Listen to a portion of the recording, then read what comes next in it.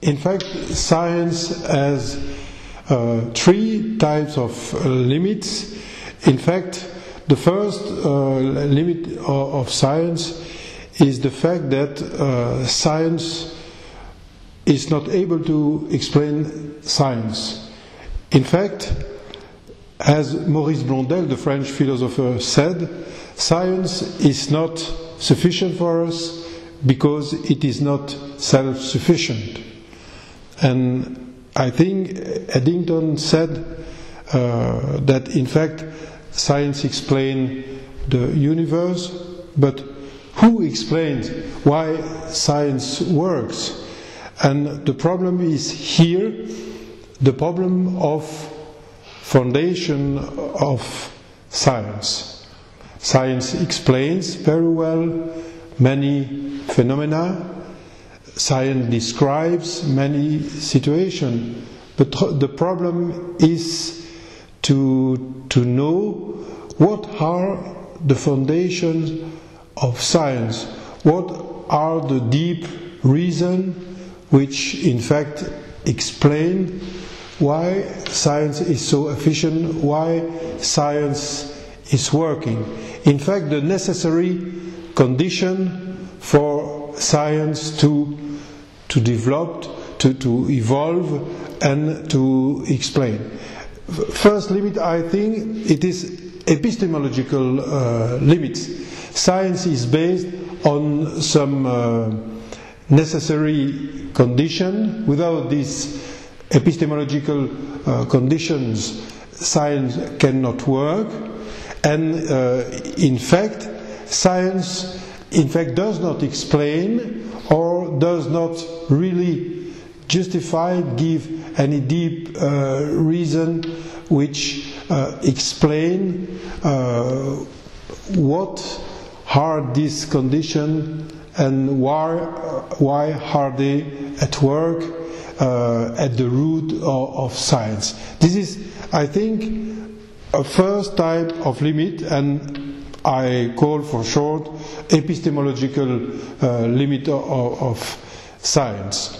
The, the, second type of, of, limit is in fact uh, is in fact uh, located around uh, the following thing.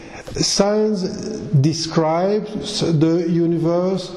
Science gives explanation to many to many uh, phenomena, uh, but, but science put into brackets the problem of uh, sense, of deep meaning of the universe, the deep meaning of what it describes. And this is in fact a metaphysical uh, problem because science produces some description of some descriptions of the universe, but uh, what is the deep meaning of this? Is there any meaning, and if any, what's the real meaning of the, the deep sense of the of the universe? And in fact, this problem is, is metaphysical is beyond the description of the physics of, of nature. But this problem has uh, a great importance for philosopher because uh, it is a metaphysical problem is essential in fact. For example, science describes the evolution of the universe, describe life, life evolution, but and describe, for example, a human being. But what's, what's the meaning, if any, what's the deep meaning of the universe, of the life, of, of, uh, of human being, of, of his thought, and, and so on? In fact, science describe, but in fact avoid the question of deep finality, if any, deep if any, and so on. And metaphysics can, in fact, answer this uh, question, can, can give some answers to this uh, problem. But science, it, it is not the question that science is not enough powerful uh, on, on, its, on its explain on its own field, science is, is very powerful. But in fact, methodologically, science, uh, in fact, refuse to enter in this meta metaphysical uh, field. But this this question are very essential. Then a second time of, of limit uh, of science is, is the fact that uh, science cannot, uh, for methodological reason, enter in the field which is uh, very important of metaphysical uh, question. And the third type of limit is in fact uh, is in fact can be in fact located at a ethical uh, level. In, in fact, uh, when science is working, in fact, it produces many uh, procedures of action. In fact, science is action. But uh, and, and in fact, when we are in a, la- in a lab, uh, we we can planify some experiment and so on. But but experiment, for example, on human being, experiment on some uh, organism, uh, ad- address addresses immediately ethical question. And in fact, uh, science describe but is not uh, able to pres- prescribe something. In fact, science give many very interesting description, but in fact, in science, you have uh, you have never something we, which uh, prevent some uh, action. Uh, in fact, in science, it lacks some deep moral or ethical assessment. In fact, science avoid also this problem of ethical assessment, but ethical question, questions related to science are in fact of major importance for for human being, for the society, uh, for uh, and even for uh, the scientist himself as a, a, person. But in fact, in biology or in, in physics, there there is some element to to think about ethical implication of some action. But science is not ethics. And when uh, science is trying to to in fact capture some uh, ethical problem uh, at its own level, then uh, limits appear. Because uh, in fact ethics addresses the problem of the meaning of, of the actions. And this deep meaning of actions uh, is not well and is not uh, described by science. For example, um, uh, let us let us think, for example, about the problem of the di- dignity of, of, the person. In fact, dignity, the, uh, to respect the dignity of human being is very uh, important. It is one of the foundation of uh, democratic societies and so on. But in fact, dignity is not a scientific concept.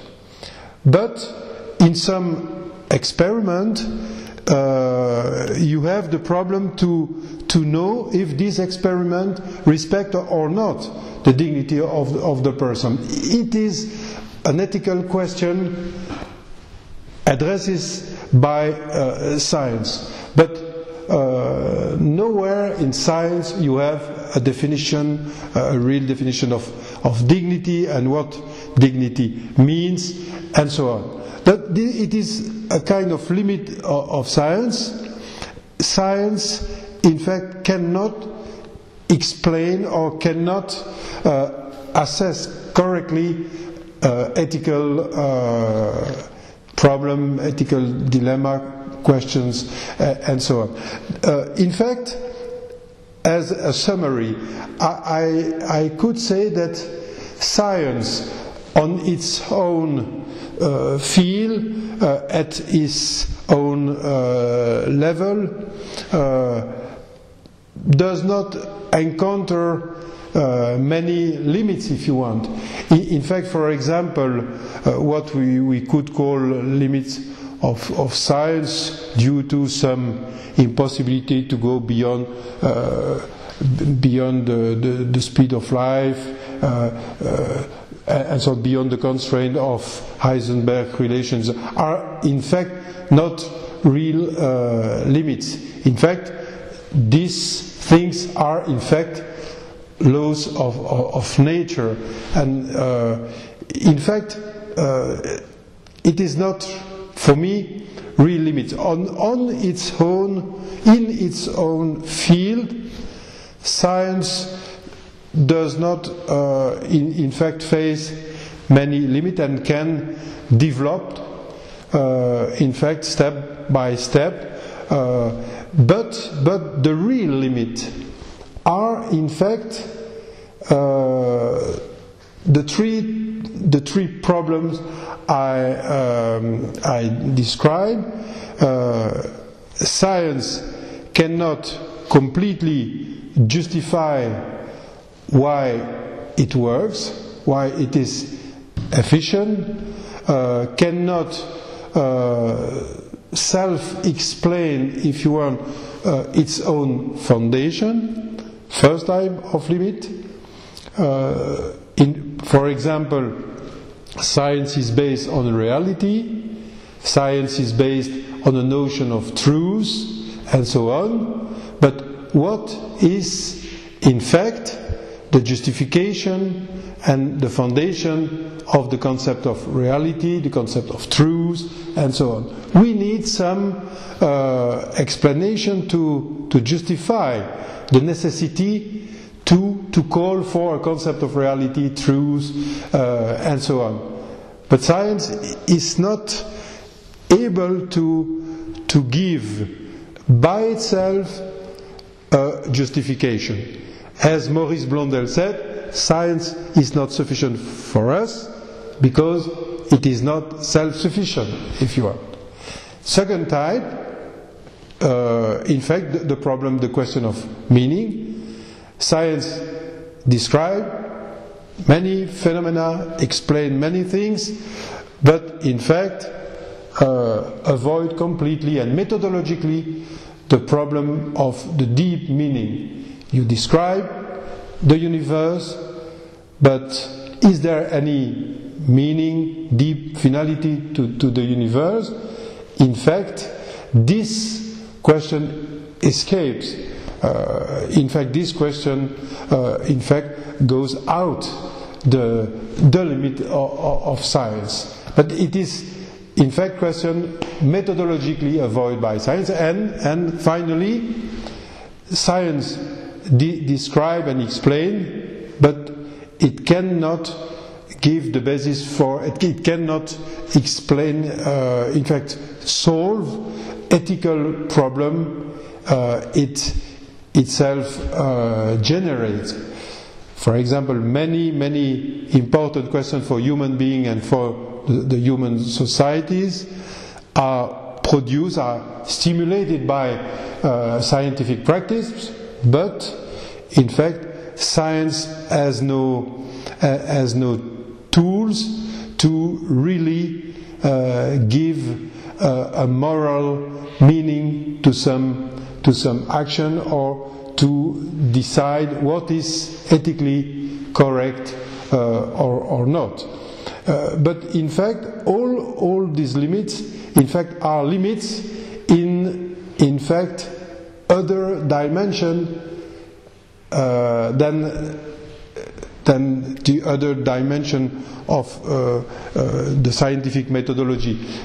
Maybe I can use this image. You, you have uh, here uh, a table, and, and, and, and the, the, table is in fact, for example, the, the, the space in which methodologically the, the, the science is uh, growing, is evolving. But in fact, science is growing on, on this surface, if you want, symbolizing its own methodological field, but uh, science cannot see uh, problems in other direction. For example, in the vertical di- direction, science is not able to, to see uh, something. It does not mean that, in fact, there are, uh, there are limits in the plane. No, the, the plane, the surface has, has no limits methodologically, but in fact, the, the limits are due to the fact that science is not able to see in other direction. In the metaphysical direction, for example, in the ethical direction. But uh, pay attention, it does not mean that metaphysical and ethical problems are not maybe rooted in, in this description. It is very important to describe a situation in, uh, by science in, in order to prepare ethical assessment. It is very important as a preliminary to metaphysics to know something about the universe. But, but metaphysics cannot be reduced to science and ethics cannot be reduced to science. And when we try to reduce metaphysics to science, to pure methodological science or ethics to pure scientific problem, then in fact it produces some kind of internal uh, problems just because uh, science is, is not the, the, the right place uh, to address such a question. Science has no limit in its own plane, but science uh, does not go out this plane, and in the metaphysical and ethical uh, direction, there are many, many questions uh, generated by science but, uh, but in fact which cannot solve by science itself. This is the first way to, uh, to address this question of, of limits of, of science. But uh, of course, it is not the last word about this very fundamental question.